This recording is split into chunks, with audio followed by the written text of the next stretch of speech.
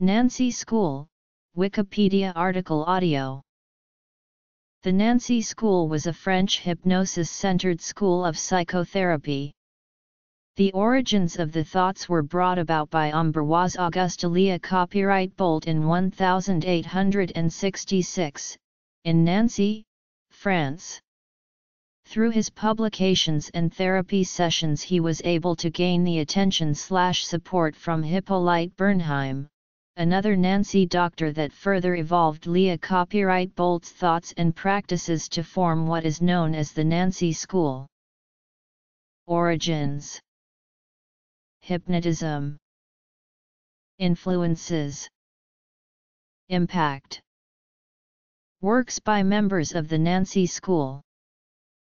Contemporary studies it is referred to as the Nancy School to distinguish it from the antagonistic Paris School that was centered on the hysteria-centered hypnotic research of Jean-Martin Charcot at the Salpêtrière Hospital in Paris. Lia Copyright Bolt was born to a peasant family in Farieres, France.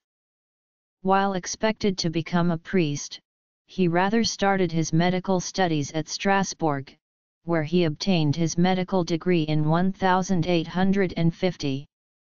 At Strasbourg, he stumbled upon an old book about animal magnetism and became fascinated with it. He moved to Nancy, France in 1860 and opened up his own clinic.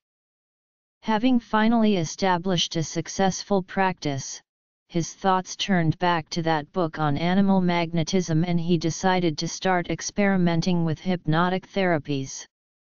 He did this by offering his patients a strange bargain, they could either continue their standard methods of treatment and continue their usual fee or they could be treated hypnotically, through suggestion, for free. Naturally, at first, many patients stayed with their standard methods because hypnosis at this time was still controversial. As more and more patients started receiving the hypnotic treatment and spreading news of its success, Lia Copyright Bolt became known as Good Father Lia Copyright Bolt. In 1866 he published his first book titled Le Sommeil et les copyright tats analogues, Consider copyright RA copyright S sur tout du point de vue de l'action du moral sur le physique that focused on the similarities between induced sleep and natural sleep, the features of the hypnotic state, how the induction of sleep relates to the nervous system, and the phenomena of hallucinations. Within this theory, he labeled the key difference between sleep and the hypnotic state to be produced by suggestion and concentration on the idea of sleep and that the patient was en rapport with the hypnotist. This book was largely ignored by the medical profession due to the fact that it was obscurely written and sold very few copies. However, Lia copyright Bolt's theory on the hypnotic state that he devised within this book engrossed the attention of a prominent Nancy doctor, and soon to be student of Lia copyright Bolt himself, Hippolyte Bernheim.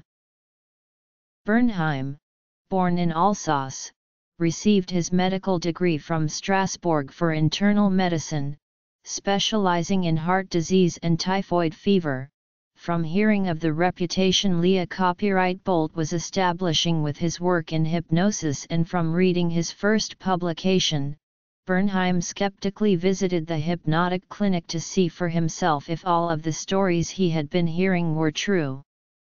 His amazement of what was happening led him to regularly visit the clinic to lean Leah Copyright Bolt's methods, and eventually to abandon his practice with internal medicine to become a full-time hypnotherapist.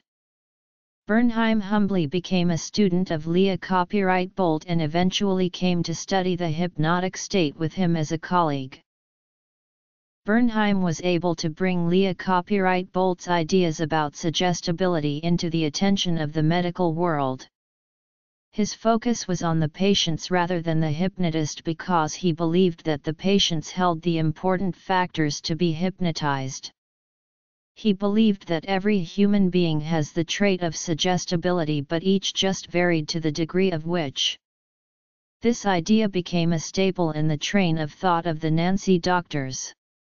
He wrote these thoughts and others, like how suggestible patients could be successfully treated by straightforward persuasion techniques as well as by hypnosis, in his book De la Suggestion et de ses applications à la tha copyright Ray Putaky. Although Bernheim was the leading proponent of suggestion accounting for hypnotic phenomena, he never took full credit for it all. He argued that while suggestion was proposed by Abba Copyright Faria, and was applied by James Braid, it was perfected by Leah Copyright Bolt. Leah Copyright Bolt and his followers did not agree with the views of Charcot and the Salpêtrière Hospital school of thought. In fact they were opposed to the ideas of the hysteria-centered school of thought that was the hallmark of Jean-Martin Charcot's Paris school. Instead they believed that they believed that the deeply hypnotized subject responds automatically to suggestion before his intellectual centers have had time to bring their inhibitory action into play. Liebald, Bernheim, and the school and Nancy believed that hypnosis was due to the physiological property in the brain of suggestibility. Bernheim discovered that if he gave a subject a suggestion to return to him at 10 o'clock in 13 days while under hypnosis, the subject would show up at the exact time Bernheim had suggested. The subject showed no recollection of receiving a suggestion, and stated that the idea presented itself to his mind only at the moment at which he was required to execute it. In Bernheim's latent memories and long-term suggestions, he proposed that post-hypnotic suggestions were a result of his subjects periodically falling into a hypnotic state and remembering the suggestions they received from him while previously under hypnosis. Below is a description of one of his experiments on post-hypnotic suggestion. To 1. I tell her during her sleep a euro next Thursday you will take the glass that is on the night table and put it in the suitcase that is at the foot of your bed. Three days later, having put her back to sleep, I say to her, Do you remember what I ordered you to do? She answers, Yes, I must put the glass in my suitcase Thursday morning, at 8 o'clock a euro have. You thought about it since I told you, a euro no a euro think. Hard a euro I. Thought about it the following morning at 11 o'clock a euro were. You awake or asleep, a euro I. Was in a drowsy state. Bernheim theorized that memories of suggestions subjects received under hypnosis were not unconscious, instead they were latent, or dormant until it is revived when the subject drifts into a hypnotic state. On the other hand Charcot was the director of the Paris's large Salpêtrière hospital. He claimed that hypnotizability and hysteria were aspects of the same underlying abnormal neurological condition. Therefore, he doubted the view of the Nancy School, that hypnotic susceptibility was a normal characteristic. Instead, Charcot speculated that the root cause of hysteria lay in a hereditary, progressive, and generalized degeneracy of the nervous system that interferes with the ability to integrate and interconnect memories and ideas in the normal way. While studying hysteria in Charcot's famous patient Lucy, Charcot and Janet theorized that all post-hypnotic suggestions were performed by a dissociated consciousness. They came to this conclusion because when Lucy would have symptoms of hysteria, she would recall childhood fears.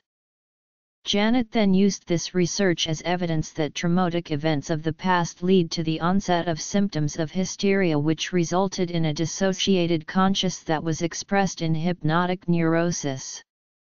Charcot believed that hypnotic neurosis could be described to follow three stages, catalepsy, lethargy, and somnambulism.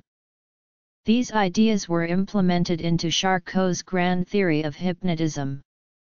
The theory of grand hypnotism was presented by Charcot to the French scientific organization and was accepted as a legitimate study. Bernheim countered Charcot, by stating that provoked sleep was simply a consequence of suggestion. This was the exact opposite of the belief held by Charcot that suggestion was due to provoked sleep from the disorder of hypnotic neurosis. Bernheim believed that the automatic execution of suggested acts could happen while awake and without somnambulism.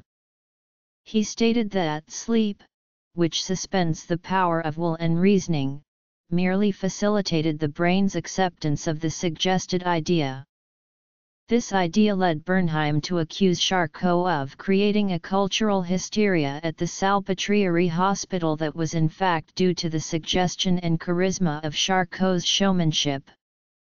Bernheim pointed out that Charcot's subjects were aware of what was expected of them while under hypnosis. Charcot and his colleagues even discussed what they expected of the patient in front of them.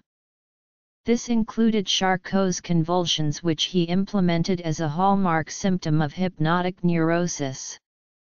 Charcot's hysteria-stricken subjects gained much popularity in the hospital at Paris, and in turn the entire country.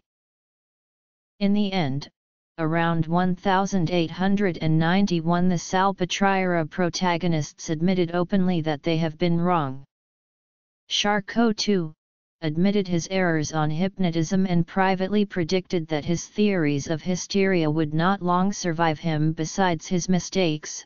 Charcot was among the first to explore interactions between emotional and physical factors, and he raised the important subjects of hysteria and hypnosis out of scientific obscurity. One of the first influential researchers of hypnotism was Indo-Portuguese monk, Abba Copyright Faria.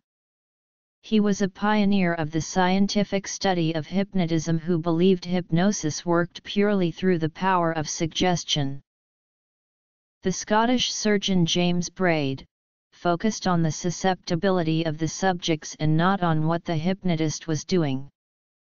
By doing this Braid was able to make a revolutionary observation and conclusion by having his subjects stare at and concentrate on a shiny object. He noticed that the starting paralyzed the eye muscles, he concluded, and the fixed attention weakened the mind, resulting in an unusual state of the nervous system, halfway between sleep and wakefulness.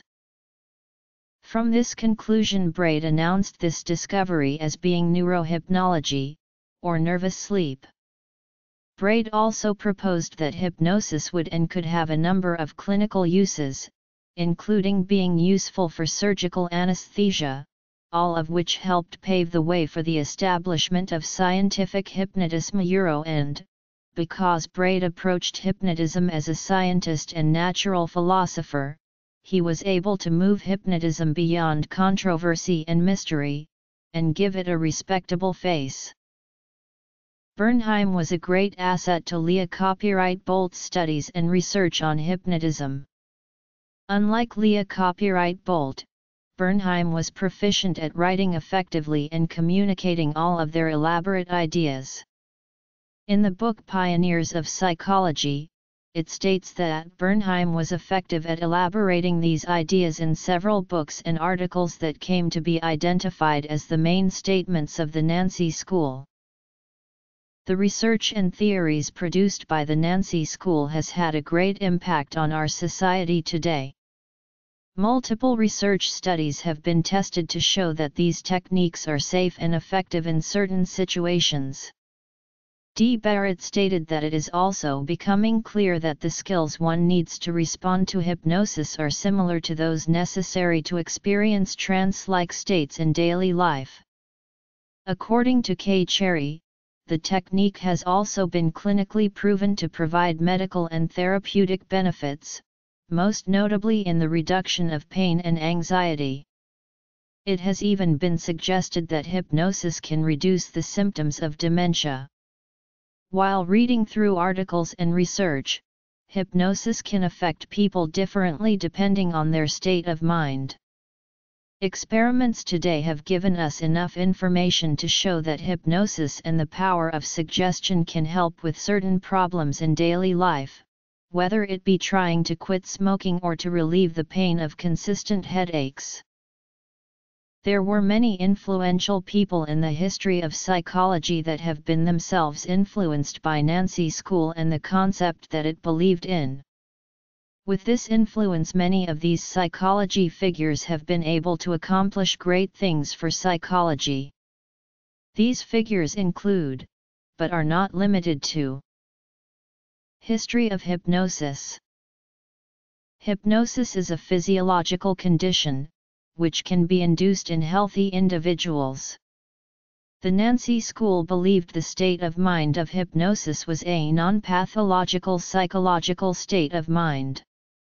This view was in direct opposition to the hysteria-centered view of hypnosis by the Paris School, which stated that hypnosis was a mental disorder, everyone has a tendency to respond to suggestion, but while under hypnosis this condition is artificially increased.